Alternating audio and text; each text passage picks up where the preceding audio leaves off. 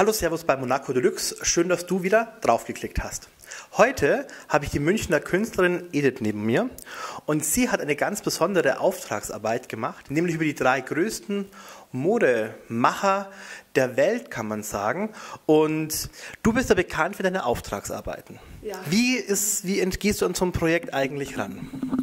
Ja, also zuerst bereite ich mich natürlich vor. Also wenn es bekannte Künstler sind oder bekannte Persönlichkeiten, so wie bei diesem Auftrag, ist es relativ einfach, weil man kennt die ja schon, man weiß ja schon, man kennt die Persönlichkeiten und dann habe ich schon meine Vision und dann gehe ich schwanger mit der Idee, sage ich immer.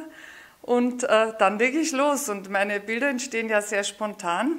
Ich bin eine Malerin, die spontan arbeitet. Ich male ja schon seit über 30 Jahren und äh, die Malerei begleitet mich schon seit meiner Kindheit.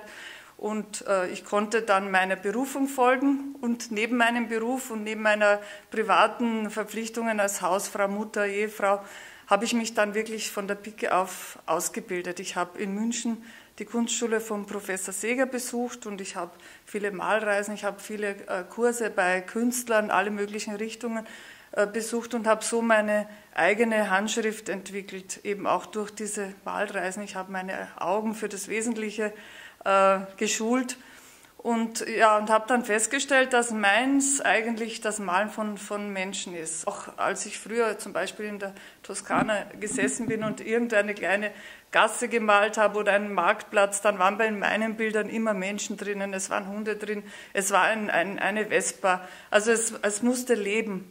Und so, ähm, ja, und, und deswegen äh, hat sich das so rausentwickelt, dass ich auch hauptsächlich Porträts male. Also ich will mich aber jetzt nicht als Porträtmalerin bezeichnen, weil ich auch sehr gerne, also mir schwebt zum, zurzeit eine, eine Münchner Serie vor, dass ich mal in München ein paar Wochen fotografiere, natürlich auch Menschen, und äh, dass ich eine Serie über München, aber da sind dann auch natürlich Gebäude und alles Mögliche drin.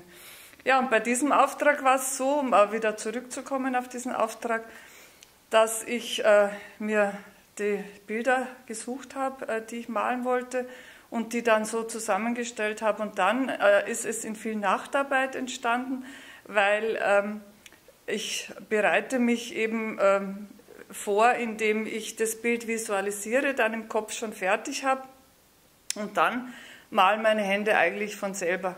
Das heißt, äh, die Bilder äh, entstehen, sind, da sie im Kopf fertig sind, entstehen sie auch sehr spontan. Und äh, ich habe auch einen großen Anspruch auf die Qualität meiner Bilder. Deswegen male ich auch mit sehr hochwertigen Farben und ich bin sehr selbstkritisch. Äh, ich bin eigentlich mein größter Kritiker.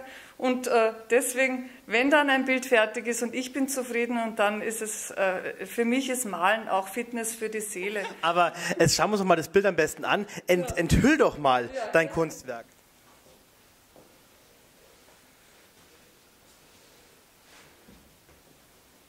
Ja, ähm, das, äh, ja, äh, es ist ein Triptychon. Dieses Bild ist, äh, ist, entstanden aus drei Einzelbildern und es soll irgendwie auch eine Einheit ergeben. Und äh, der Auftrag war eben die drei Modeikonen oder die drei Modemacher und da gab es eigentlich nur diese drei. Also wir, ist, mir ist spontan sind diese drei eingefallen. Am, äh, am einfachsten war das eigentlich war Vivienne Westwood, weil äh, diese Frau ist einfach, das entspricht mir auch ein bisschen, weil sie eben so wild ist und so natürlich und, und, und trotzdem so uneitel auch. Und das gefällt mir sehr und darum ist das wirklich in einer Nachtsitzung entstanden. Auch Karl Lagerfeld, äh, dem auch jeder kennt und ich mag ihn sehr, ich mag auch seine Art. Dann kommen wir zur dritten Persönlichkeit. Anna Wintour ist ja eine Ikone und ich glaube, der Film äh, Der Teufel trägt Prada, das war ja sie, das Vorbild. Und das war auch die schwierigste Person für mich zu malen, weil es eine, ein Mensch ist, von dem man eigentlich, oder ich persönlich, ich weiß wenig von ihr. Deswegen musste ich mich auch zuerst mal einlesen und diese Eleganz rüberbringen und trotzdem mit meinem dynamischen, wilden Pinselstrich. Äh, und ich denke, es ist mir schon gelungen. Und an sich, also im Ganzen bin ich sehr zufrieden und bei mir geht ein Bild auch erst dann raus, wenn ich zufrieden bin. Und wenn ich äh, einfach, ja, wenn ich diese Emotion, die ich beim Malen hatte, wenn ich die auch wirklich das Gefühl habe, ich habe das transportiert. Ja, noch mehr zu der Entstehung dieser Triologie sozusagen seht ihr auf dem Blog Monaco Deluxe. Den verlinke ich euch in der Infobox. Und noch mehr von dir als Künstlerin lesen wir in der ersten Printausgabe von Monaco Deluxe, die Anfang Mai erscheint. Danke fürs Gespräch. Danke auch. Und ich hoffe, ihr schaltet bald wieder ein und gebt uns ein Like oder ein Abo.